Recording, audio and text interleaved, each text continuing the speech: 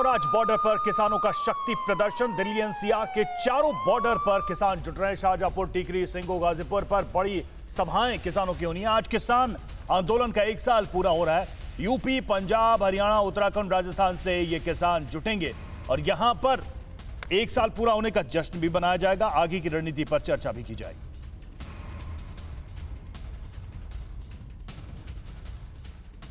एक साल हो गया।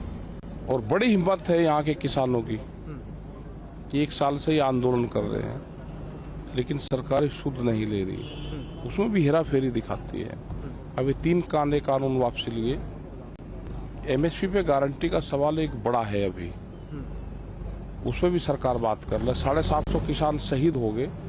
उसके बारे में भी सरकार बातचीत शुरू करे ये परिवार के लोग बुलवाए अपना आगे का सलाह मशवरा करेंगे। सारे बॉर्डरों पर लोग आएँगे आज। और बातचीत करेंगे।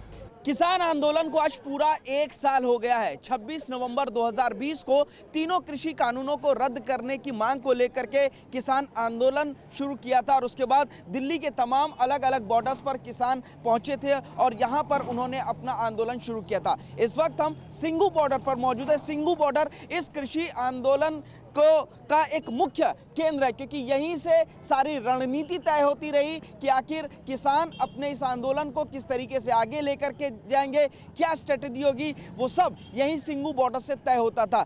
आज एक साल पूरा होने के बाद किसान इस सिंगू बॉर्डर पर जश्न मनाएँगे।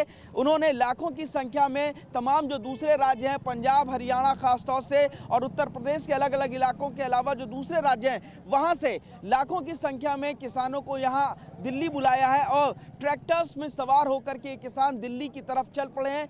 कूच दिल्ली का इन्होंने नाम दिया है, दिल्ली कूच करने के लिए कहा है और यहाँ पर कल से ही किसानों का आने का सिलसिला शुरू हो गया। दूसरी तरफ़ दिल्ली पुलिस ने पुख्ता इंतज़ाम किए हैं। बाकायदा जो तमाम दिल्ली में जितने भी ये बॉर्डर्स हैं वहाँ पर पुलिस की तैनाती को बढ़ा दिया गया है, पैरामिलिट्री फोर्सेस की तैनाती बढ़ाई गई है, और साथ ही जो बैरिकेड्स बॉर्डर्स पर पहले कम किए गए थे, उन बैरिकेड्स को भी बढ़ा दिया गया है। यानी कि जो लेयर की सिक्योरिटी है, उसको काफ़ी ज़्यादा किया गया। आप देखिए किस तरीके से सिंगू बॉर्डर पर पूरी जो फोर्स है, वो डिप्लॉय की गई है। इस जगह से आगे कोई भी नहीं जा सकता। बैरिकेटिंग काफ़ी ज़्यादा बढ़ा दी गई है, और यहाँ पर पैरा मिलिट्री की तादाद में बहुत ज़्यादा इजाफा किया गया। दिल्ली पुलिस का साफ़ तौर पर कहना है कि किसी भी तरीके के लॉ एंड ऑर्डर को बिगाड़ने नहीं दिया जाएगा और जो भी कोई लॉ एंड ऑर्डर को बिगाड़ने की कोशिश करता है, उसके खिलाफ कानूनी कार्रवाई की जाएगी।